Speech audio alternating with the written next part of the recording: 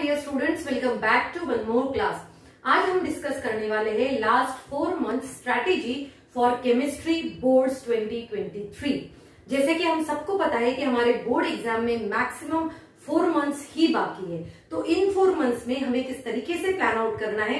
ताकि हमारे बोर्ड्स में जो है 90 प्लस मार्क्स आ जाए और हम इतना अच्छे से प्लानिंग करेंगे कि आपको डेफिनेटली आप अगर ये प्लानिंग फॉलो करते हैं तो आपको डेफिनेटली 90 प्लस मार्क्स जो है बोर्ड एग्ज़ाम में आने वाले। तो इस वीडियो को लास्ट तक ज़रूर देखना और सभी प्लानिंग को ध्यान से समझ लेना। अब हमें क्या करना है कि जैसे कि हमें पता है कि बोर्ड 2023 के लिए हमारे पास में जो है वो पूरे टेन चैप्टर्स है राइट अब इन टेन चैप्टर्स में हम देख सकते हैं कि हमारे पास में इनऑर्गेनिक के दो चैप्टर है राइट और वो है हमारा D block element and coordination compounds फिर हम देखें फ़िज़िकल केमिस्ट्री फ़िज़िकल केमिस्ट्री के हमारे पास में तीन चैप्टर्स है solution electrochemistry and chemical kinetics right ये जो तीन चैप्टर्स है, ये हमारे फ़िज़िकल केमिस्ट्री के हैं। उसके बाद में आता है हमारा ऑर्गेनिक केमिस्ट्री ऑर्गेनिक केमिस्ट्री के पूरे फाइव चैप्टर्स है हमारे पास में, और वो है हेलोइकेन्स हेलोएरिन्स सेकंड जो है वो aldehyde ketones aldehyde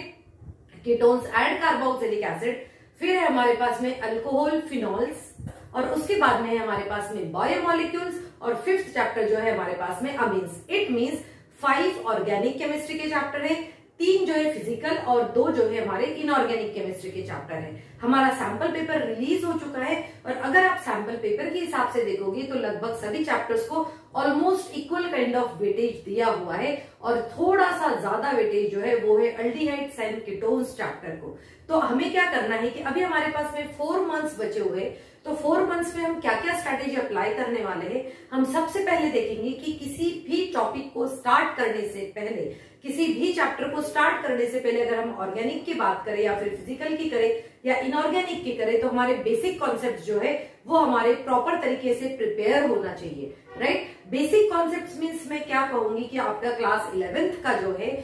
नॉमिन क्लेचर वाला पार्ट जो है, कुछ रिएक्शन मैकेनिज्म जो है, ये सभी पार्ट्स की आपके माइंड में क्लैरिटी होनी चाहिए कि इसके, इस टॉपिक से उसका क्या कनेक्शन है। तो जब मैं आपके जो क्लासेस शुरू करूँगी, उस क्लासेस में मैं इन सभी टॉपिक्स को आपको बताते चलूँगी। अब जो हमारे फ़र्स्ट थिंग है प्लानिंग की जो सबसे पहले तो ये होना चाहिए आपकी एनसीआरटी e की रीडिंग ठीक है तो एनसीआरटी e की रीडिंग जो है, हम किस तरीके से स्टार्ट करेंगे? आप क्या करने वाले हैं? आप एनसीआरटी बुक जो है, वो ओपन करेंगे। साथ में ही आप एक अपना हाइलाइटर या फिर कलर्ड पेन भी साथ में रखिए। बेटा देखो एनसीआरटी को पढ़ते समय उस एनसीआरटी की हर एक चीज़ जो है हाईलाइट करना बहुत ज़रूरी है। अगर आप बुक पे कुछ भी नहीं करना चाहते तो आप क्या करेंगे? आप एक एक पेज अपने साथ में रखेंगे और उस पेज में क्या उस पेज में वो पेज वहीं पर लगाएँगे जहाँ पर आप उसका स्टडी कर रहे हो राइट और उस पेज में एक्स्ट्रा चीज़ें जो है वो नोट डाउन करके रखेंगे। तो उससे क्या होगा कि जब आप एनसीआरटी पढ़ने लगेंगे, अगर कोई चीज़ मिस आउट हो गई है, आपको क्लैरिटी नहीं है उस चीज़ में तो आप उस पेज में से जल्दी से पढ़कर लिख सकते हैं पढ़कर आप समझ सकते हैं। नहीं तो फिर आपको क्या करना है पेंसिल से आप जो भी टॉपिक पढ़ रहे हैं, उस टॉपिक के वहीं के वहीं पर आपको ये चीज़ें लिख के रखनी है कि ये पर्टिकुलर टॉपिक में क्या दिया गया है और इसको कैसे स्टडी करना है। राइट ये तो हो गया आपकी पहली बात। सेकेंड थिंग जो है, वो है हमारी क्वेश्चन बैंक अब आप क्या करेंगे कि जैसे कि जितने भी, जैसे अगर हमने एक चैप्टर प्रिपेयर कर लिया है तो उस एक प्रिपेयर्ड चैप्टर से बहुत सारे नंबर ऑफ़ क्वेश्चन जो है हमें सॉल्व करना पड़ेगा। स्टूडेंट जैसे कि आप सबको पता है कि क्लास ट्वेल्थ का जो केमिस्ट्री का सिलेबस है तो केमिस्ट्री के सिलेबस में उन्होंने एज सच चैप्टर के अंदर कुछ भी डिलीट नहीं किया है। चैप्टर के अंदर कुछ भी डिलीशन नहीं है, बस उन्होंने डायरेक्टली जो है पूरे के पूरे चैप्टर्स ही उसमें से हटा दिए हैं। तो ऐसे हमारे सिक्स चैप्टर्स हट चुके हैं और इन सिक्स चैप्टर के बारे में मैं आपको पहले भी बता चुकी हूँ। तो अब जो मैंने अभी बताया, ये टेन चैप्टर्स की प्रिपरेशन अच्छे से स्टार्ट करनी है। तो हम क्या करेंगे? हम सॉल्व करेंगे PY Qs P Y Qs मतलब क्या होता है कि previous year question previous year question जो है हमें सॉल्व करना है। अब प्रीवियस ईयर क्वेश्चंस में हम क्या करेंगे? हम चैप्टर वाइज जो है चैप्टर वाइज हम उस उस पर्टिकुलर चैप्टर में से कौन से प्रीवियस ईयर्स में क्वेश्चंस आए थे, आप उन क्वेश्चंस को सॉल्व कर सकते हैं राइट और जब आप सॉल्व करना स्टार्ट करोगे, जैसे कि अगर मान के चलिए आपने एक चैप्टर पढ़ लिया, जैसे सोल्यूशन आपने पढ़ लिया सोल्यूशन के प्रीवियस ईयर्स के क्वेश्चन जो आपने स्टार्ट करना सॉल्व कर दिए, और मान के चलिए कि आपने अगर एक चैप्टर में से अगर ट्वेंटी क्वेश्चन भी सॉल्व कर दिए, कितने? ट्वेंटी क्वेश्चन भी सॉल्व कर दिए तो मतलब टेन चैप्टर्स के आपके पास में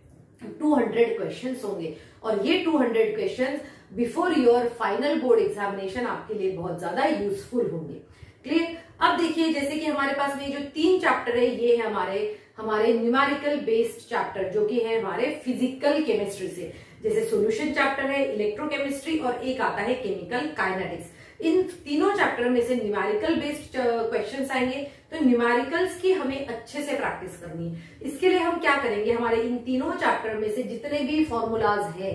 राइट right? जितने फॉर्मूलाज है तो उन फॉर्मूलाज को एक पेपर पे प्रॉपर तरीके से स्टिक लिखेंगे विथ कलर्ड पेन हाईलाइट करके रखिए, और आप जहाँ पर भी पढ़ाई करते हैं, उस पढ़ाई करने वाली जगह पे उन सभी फॉर्मूलाज को आप पेस्ट करके रखिए, ताकि आपको याद रहेगा कि हमें इस फॉर्मूला में, हमें ये फॉर्मूला अगर इस फॉर्मूला के बेसिस पे अगर कोई न्यूमेरिकल आता है तो हमें किस तरीके से उसको सॉल्व करना है राइट फिर हम बात करते हैं ऑर्गेनिक केमिस्ट्री की। ऑर्गेनिक केमिस्ट्री में जैसे कि हमें फाइव चैप्टर्स है फाइव चैप्टर्स में अगर आप देखोगे तो सेवन मैकेनिज्म्स है और हमारे पास में approximately twenty nine named reactions है। तो इन 29 नेम रिएक्शंस की और सेवन मैकेनिज्म्स की हम बहुत ही अच्छे से प्रैक्टिस करेंगे। अगर आपको ऐसा लगता है कि मैं इन पे पर्टिकुलर वीडियो बनाऊँ तो आप मुझे कमेंट सेक्शन में लिखिए। मैं पूरा कंपाइल्ड करके, चाहे वो न्यूमेरिकल पोर्शन हो, आपकी नेम रिएक्शन हो, या फिर आपका मैकेनिज्म हो, इन सब का कंपाइल्ड वे में मैं आपको एक वीडियो बना के, वो मैं आपके लिए ज़रूर शेयर करूँगी ताकि आपको पढ़ने में आसानी हो और हमारा जो टारगेट है in board examination 90 plus marks वो हमारा टारगेट सक्सेसफुल हो राइट तो ये हो गया हमारा इनऑर्गेनिक का। तो इनऑर्गेनिक में इनऑर्गेनिक में हमें क्या करना है? देखिए ऑर्गेनिक का तो अभी हमने देखा नेम रिएक्शन एंड ऑल अब देखिए इनऑर्गेनिक में हमें क्या करना है? इनऑर्गेनिक में हमारे दो मेन दो ही चैप्टर्स है, जैसे कि D D and F block element and coordination compounds और इन दोनों चैप्टर में काफ़ी इंटर रिलेशन है तो जब भी हम पढ़ेंगे, इन दोनों चैप्टर्स को एक साथ पढ़ेंगे राइट एक साथ पढ़ने का मतलब क्या हुआ कि आपने पहले कोऑर्डिनेशन चैप्टर फिनिश कर दिया, उसके सभी पॉइंट्स लिख लिए केमिकल प्रॉपर्टीज़ क्या है फ़िज़िकल प्रॉपर्टीज़ क्या है, उसमें किस किस टाइप के रिज़ल्ट आते ये हमने पूरा पढ़ लिया, उसके तुरंत बाद में हम कोऑर्डिनेशन कंपाउंड्स का भी स्टडी स्टार्ट कर सकते हैं, जिसकी वजह वजह से आपको उसको कोऑर्डिनेशन केमिस्ट्री के कुछ कॉन्सेप्ट समझने में बहुत ज़्यादा हेल्पफुल होगा।